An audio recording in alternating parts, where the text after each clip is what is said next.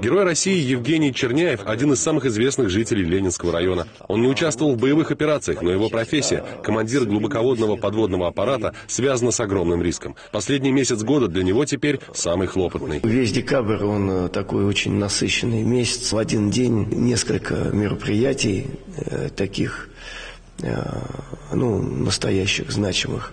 Более 30 лет Евгений Сергеевич отдал своей работе. Участвовал более чем в 50 научных экспедициях, награжден Орденом Трудового Красного Знамени и Орденом Мужества. Звание Героя Российской Федерации получил за успешное проведение арктической глубоководной экспедиции. По признанию Евгения Черняева, награда не сильно изменила его жизнь. То, что ты получил награду, ты остался тем же самым человеком, это главное понимать.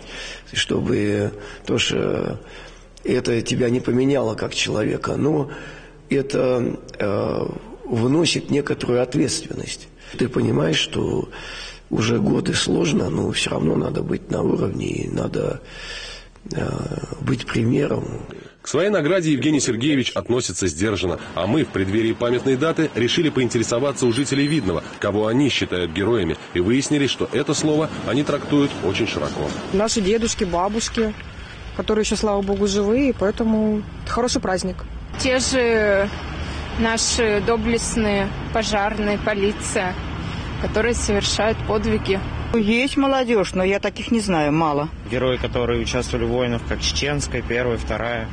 Также их много. Помогают пожилым людям кто-то есть, такие вот эти самые люди. Волонтеры. Волонтеры. Где их сейчас увидишь, их, людей, героев? Сейчас таких и не встретишь, наверное. Пожарники, да, те же, та же милиция, там любой человек, вот как бы ситуация, когда такая вот необычная.